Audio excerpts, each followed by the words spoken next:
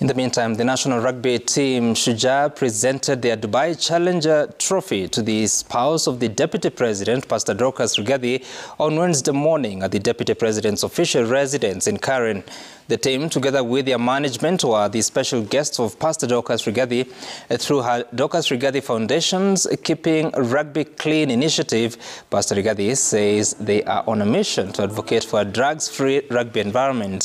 Some of the vices they are preaching against include doping, alcoholism, drugs and substance abuse. After the success in Dubai, Shujaa will now play in the next leg or in Montevideo in Uruguay between March 8th to 10th then complete in Krakow in Poland in May before finish, uh, finishing the series in Munich, Germany.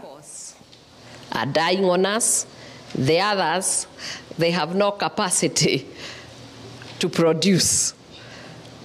The transformers are already burnt off.